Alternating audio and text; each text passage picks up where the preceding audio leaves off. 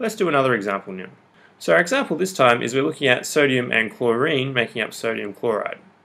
So I'm using strawberries to represent sodium, and I'm using chlorine, again bananas, to represent chlorine. So let's fill up our shopping bags and see what we've got. So first thing, we've got one strawberry goes in this bag representing that sodium, and then in this bag here we've got two chlorines again. So we'll put those in. Right.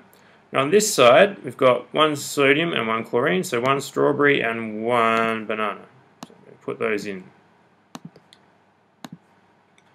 Alright, there they go. So, here's what we have to start with. Let's count them up. So how many strawberries do we have on this side of the arrow? We've got one. How many bananas do we have on this side of the arrow? We've got two. So I'll put that second one in there. Right, so on this side we've got one strawberry and two bananas. What about the other side? On the other side we've only got one strawberry and one banana. So I'll represent that as well. So I'll put one strawberry over here. I'll replicate that one. Now I've got one banana over this side. Okay, is it balanced? I've got one strawberry on this side, one strawberry on this side. So that's okay. I've got two chlorines on this side and only one chlorine on this side. So two bananas on this side and one banana on that side. So What's the limiting factor here? I've got one banana on this side, two bananas on this side, so I need to have two bananas on this side.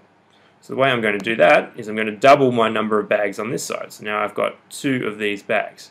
Now let's count it up again. One strawberry on this side, that's okay. Two bananas on this side, so I'll replicate that one. Okay, so there we go. Now on the other side, let's count it up. So we've got one strawberry on this side, two strawberries on this side. So two strawberries on the right hand side.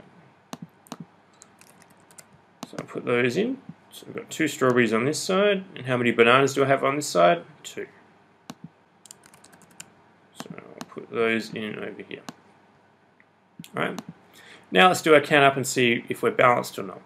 So we've got one strawberry, two strawberries. So we're not. So our limiting factor now is our number of strawberries. So what we need to do is double our number of strawberries. Okay, so now we've got two strawberries on this side do that. Make sure we've got it right. So two strawberries on this side, two strawberries on this side, two strawberries on the left, two strawberries on the right, and I've got two bananas on the left, and two bananas on the right. So I can put those in as well. So the question is, are we balanced now? So if we have a look at what we've got, we've got two strawberries on this side, two strawberries on this side, two bananas on this side, two bananas on this side. So now we're balanced because we've got the same number of strawberries and bananas on both sides of the arrow. So on both the left hand and the right hand side of the arrow. Now we need to represent that in our equation up here. So what did we do? What we did was we doubled the number of sodiums, so we doubled the number of strawberries. So I'll write that in over here. So big 2 out front. We didn't change the number of chlorines over here, they stayed at the same, we didn't change that. But what we did do is we doubled the number of sodium chlorides over here. So again, I need to put a big 2 out the front. And now that's fine. So this is how we would represent the balancing properly.